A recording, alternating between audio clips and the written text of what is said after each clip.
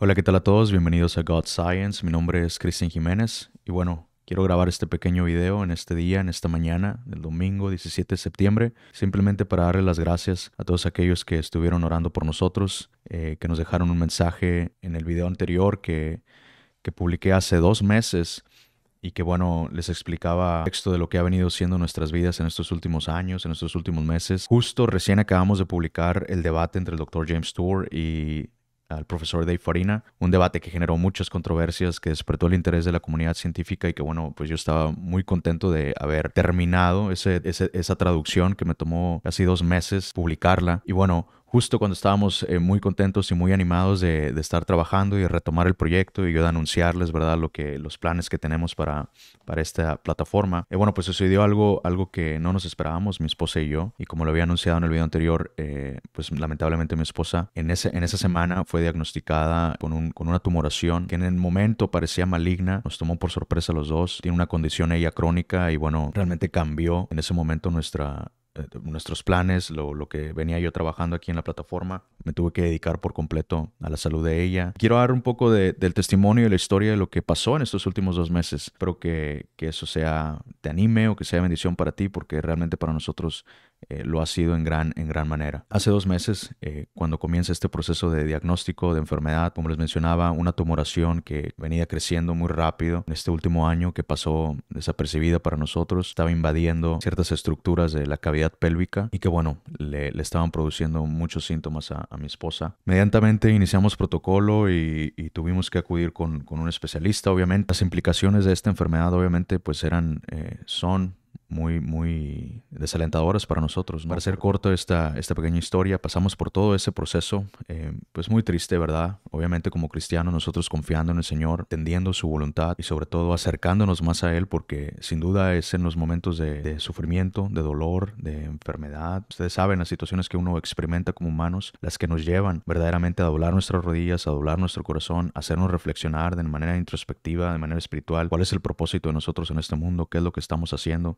hacia dónde vamos, eh, cómo es que estamos viviendo y cómo es que nuestras vidas están afectando la vida de los que están alrededor de nosotros. Sin duda alguna fueron dos momentos en los que nos ayudaron a, unirnos a mí y a mi esposa como matrimonio, pero más hacia Dios principalmente. Y para esto, dos, tres días, ¿verdad? Antes de la cirugía, obviamente muchas familias a nuestro alrededor, hermanos de la iglesia, orando por nosotros. Incluso yo podía leer los mensajes aquí en el video y yo estaba sorprendido porque si bien no hay una relación personal entre nosotros, pues bueno, ver la, eh, la calidez con la que nos nos escriben como si, como si nos conociéramos, pues es algo muy bonito, ¿no? Y por esa razón yo quiero tomarme el momento de hablarles a ustedes y darles las gracias, ¿no? Llegamos al momento de la cirugía, justo horas antes, el día anterior, se nos explica nuevamente el protocolo. Obviamente yo como médico pues yo entiendo las, las consecuencias de esto, las implicaciones. Una hora antes se nos explica bien, este es el procedimiento, esto es lo que va a suceder. Obviamente el resultado Vamos a tratar de esperar que sea lo mejor que podamos, pero muy probablemente eh, no va a ser muy bueno el resultado de esto. Efectivamente, pues estábamos preparados para ello, estuvimos orando, mi esposa estaba tranquila. Eh, justo unas semanas antes habíamos estado sirviendo, de hecho, en, en, unas escuelas de verano que organizamos en nuestras iglesias para trabajar con niños y, y bueno, ahí estuvimos nosotros descargando nuestro tiempo, energía, ahí sirviendo, eh, tratando de no estar pensando ni, ni, enfocándonos en esta situación, sino más bien sirviendo a los demás, pasando tiempo con los demás y que vaya que fue algo eh, muy bonito para nosotros también eh, experimentar eso. llega el momento de la cirugía, pasan tres horas del procedimiento, sale el primer cirujano, porque para esto el padecimiento que ella tiene, pues es un, es un caso muy complejo. no era de esperarse, múltiples especialidades involucradas en este caso, estudiantes, residentes. Pues ahora sí que, mi esposa se ha convertido en un, en un, en un objeto pues, de estudio ¿no? para la medicina. Que uno lo puede ver desde, desde la perspectiva médica, pues es algo, es algo que es interesante, que fomenta el estudio, pero cuando estás del otro lado, obviamente como paciente, pues es algo que, que sufres, que no, no lo disfrutas, no se siente bien. Pero bueno, ahí estábamos nosotros esperando. Pasan tres horas de la cirugía. Para esto dos especialistas tenían que entrar en la cirugía. Cada uno de ellos iba a abordar una, parte diferente del problema de mi esposa.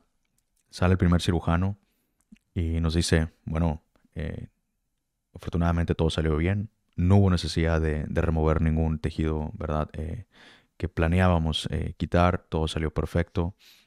Solamente queda el otro especialista trabajando con el tumor y las distintas partes, ¿verdad? Órganos involucrados en, en, el, en el, procedimiento. Pues primera noticia, muy contentos. Eh, tanto mi suegro como yo y mi padre estábamos ahí presentes. Eh, sale al cabo de una hora el siguiente cirujano y nos habla a mí y a mi suegro. Vamos con él y nos dice, ¿saben qué? Pues quiero decirles que todo salió mejor de lo esperado, salió perfecto, toda la cirugía.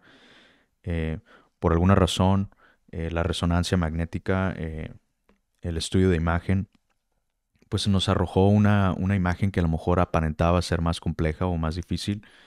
Y pues a la hora nosotros de entrar a la cirugía, pues vaya, nos encontramos con que no era eh, el caso, la complejidad del caso no era como la, como la esperábamos. De hecho, nos encontramos con, sí, efectivamente teníamos un tumor que no era maligno, ¿verdad? un tumor benigno que, se, que pudimos quitar eh, sin problemas. No hubo necesidad de tocar ningún órgano en la cavidad pélvica. No hubo necesidad de hacer nada de lo que se tenía contemplado. Y incluso pudimos eh, organizar o corregir ciertas posiciones anatómicas dentro de su cavidad que, estaban, eh, que no estaban bien posicionadas. Y el resultado de esto fue perfecto, o sea, fue mejor de lo que esperábamos. No hubo necesidad de hacer nada. Y bueno, obviamente vamos a analizar el tejido que se envió, pero de, de antemano pues todo salió perfecto. En ese momento mi reacción, obviamente, eh, yo estaba orando todo el tiempo, yo le decía a Dios que se haga aquí tu voluntad, o sea, si es necesario que ella, que sea el, resultado negativo de, esta cirugía, pues que se lleve a cabo, Señor. Simplemente no nos dejes solos, ayúdanos a, pasar por esto. Eh, no nos dejes solos en medio de este, este, proceso, simplemente ayúdanos. Y si es tu voluntad que, de todo esto salga, salga lo bueno, ¿verdad? Y, y que no sea lo que esperamos, pues gracias Señor, simplemente una actitud de gratitud por ello. Y efectivamente en ese momento yo estaba en shock por lo que estaba escuchando. Eh, de manera inicial mi mente lógica, racional eh, y, como, como médico, con... efectivamente yo digo, bueno, es un error de imagen, ¿no? Un estudio pueda, no es 100% específico y efectivamente puede arrojarnos una imagen que, que, a la hora de estar nosotros eh, o a la hora de estar el cirujano trabajando con el tejido, pues bueno, puede, puedes enfrentarte con un escenario distinto. Pero al lado de mí, mi suegro, obviamente él es un pastor misionero eh, que, quiero mucho. Él eh, inmediatamente nos dice, esto, es un milagro. esto es un milagro. Esto es Dios. O sea, no te das cuenta de la cantidad de gente, todas las personas orando eh, por mi hija, por tu esposa. Esto es un milagro. Y en ese momento yo, yo reacciono y lo escucho y, por un lado tenemos esta parte racional, esta parte lógica, pero por otro lado volvemos a nosotros en sí como cristianos, ¿verdad? Como, como creyentes en Dios. Eh, comienzo a reflexionar y digo, Señor, perdóname. Efectivamente, tú has estado en este procedimiento desde el principio y vaya que nos lo mostró en todas las áreas, ¿no? Desde la parte financiera, emocional, familiar. Ahora eh, viéndolo de manera física reflejada en su salud. Te digo gracias Señor por este milagro. Gracias por esto que, tú has hecho. Y, justo hace meses anterior a ello yo había adquirido este libro, precisamente que tiene como, como título, y les voy a dejar el, el link en la descripción del video. Este libro tiene como título ¿Puede un científico creer en los milagros? está escrito por un profesor del MIT que pues es probablemente considerada la mejor eh, eh, facultad de ingeniería en el, en el, mundo, este instituto tan prestigioso en materia de ciencia. Ah, y el doctor Ian Hutchinson, él escribe este libro abordando precisamente el tema de los milagros. Él es un hombre cristiano y más adelante estaré hablando sobre su persona y estaremos comentando este libro. Pero justo me cae este libro como esta pregunta, ¿no? Como, como algo que nosotros debemos reflexionar eh, en nuestras vidas. Verdaderamente el cientificismo, la idea de que la ciencia y el método científico puede explicarlo todo de manera absoluta, es, es una idea válida. ¿O realmente hay algo más que, que puede cambiar nuestras vidas, que está externo, que es, no está limitado por estas leyes naturales, por esta metodología que nosotros usamos para explicar los fenómenos naturales del mundo? Verdaderamente hay algo más y, eso es algo que ciertamente no puedo explicar yo, definir por el método científico, pero hay una parte que uno puede experimentar, ¿no? Por medio de la experiencia como humanos que somos, Y cuando uno va acumulando alrededor de su vida ciertos fenómenos como este, experiencias como esta que yo solamente puedo escribir como, pues como un milagro realmente. Eh, si bien no es un milagro eh, extraordinario como alguien lo pueda llamar, de que en el, desaparecieron por completo los... Pero el hecho de saber que, que quizá un error de imagen en una resonancia, que quizá a la hora de intervenir en este caso tan complejo, que precisamente al día siguiente uno de los estudiantes venía con nosotros y nos decía, bueno, pues al final todos estuvimos en el caso, estuvimos en quirófano y pues realmente no era, no era la gran cosa, ¿verdad? Haciéndolo, eh, poner en estos términos. Este se puede escuchar en, cierto punto una decepción, ¿verdad? desde el área médica como, como científico de estudiar y aprender. Pues vaya, no era lo que esperábamos. Esperábamos una cosa compleja para aprender.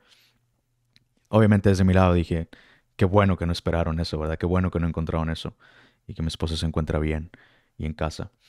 Entonces, eh, la naturaleza de los milagros es algo muy especial, muy importante. Hasta ahorita, en ese momento, retomó mis fuerzas, ¿verdad? Me dio un aliento para seguir trabajando, eh, una motivación que viene de Dios. Eh, pero la pregunta aquí es, ¿qué hubiese pasado si hubiese sido todo lo opuesto? Estaría aquí yo grabando este mensaje nuevamente. Estaría aquí yo con una actitud de depresión, desanimado, eh, diciendo, no, pues no vale la pena no hacer todo esto. Vean lo que yo estoy experimentando y viviendo en mi vida. La verdadera fe, una fe genuina cristiana, eh, no radica en las circunstancias que nosotros tenemos en nuestra vida. Y nosotros podemos ir rápidamente al libro de Daniel y cuando me encanta este pasaje en el que Daniel y sus amigos están a punto de ser echados a este horno de fuego, ¿no? Y tienen este diálogo con, con este con este gobernante tirano y, les dice, si no se inclinan ante mí, ustedes, ustedes van a morir, ustedes van a perecer. Y la respuesta de ellos es impresionante porque les dice,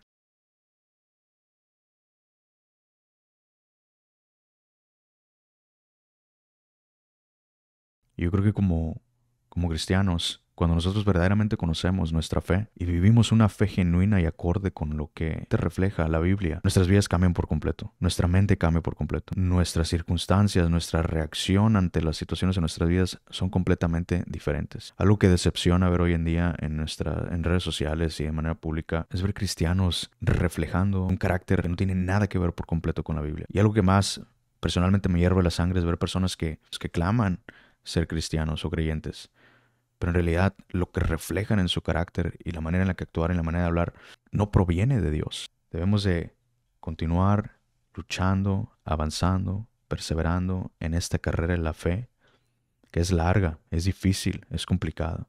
Pero yo sé que hay muchos hombres, jóvenes, eh, chicos que me están escuchando. Mi exhortación para ti es que reflexiones verdaderamente sobre tu carácter como un hombre, como un varón cristiano delante de Dios. Podemos llenarnos de conocimiento, podemos consumir libros y libros y teoría, pero si finalmente nuestra vida no está reflejando el carácter de Dios, el rol que tú estás teniendo en el lugar en el que estés, en tu trabajo, en tu escuela, en tu vida, en tu familia, si no estás haciéndolo de manera efectiva, bueno, pues cuál es el propósito por el cual estamos aquí. Y bueno, eh, esto es lo que quería compartirles, mi experiencia, mi testimonio, quiero animarlos, que Dios les bendiga.